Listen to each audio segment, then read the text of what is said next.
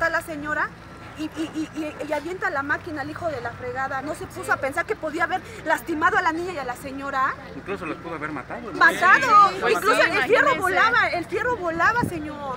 O sea, es una injusticia que, que toda esta pobre gente, toda esta gente que está, se está rompiendo la, la madre, que a veces vendemos, a veces no vendemos. Que, que vengan y por de nada les tiren sus negocios, cuando no traen orden, no traen una orden legal, ni judicial, ni federal. Es un acto, sí, exacto. O sea, ¿por qué no? ¿Qué van a hacer ahorita? Ya están tirando, todo, están tirando todo. No, pero ustedes... No nos dan permiso. No, nosotros estamos hablando, ya están hablando pues es que se lo tienen encima. abogada ya están hablando. Y no, o sea, no nos dejan. No, no vino derechos humanos para que se... No, no ha venido. De la presidencia municipal. La presidencia nomás vino... Nada más pasó el hermano de Antonio Mendoza en la patrulla y se pasó les dijimos como diciendo, pues yo creo que a lo mejor era lo que querían o no sé. Lo único que queríamos es que Nada más nos nosotros den queremos que nos respeten que nuestros derechos, como seres humanos también, que tenemos el derecho Ya de ganarnos pan cada día honradamente.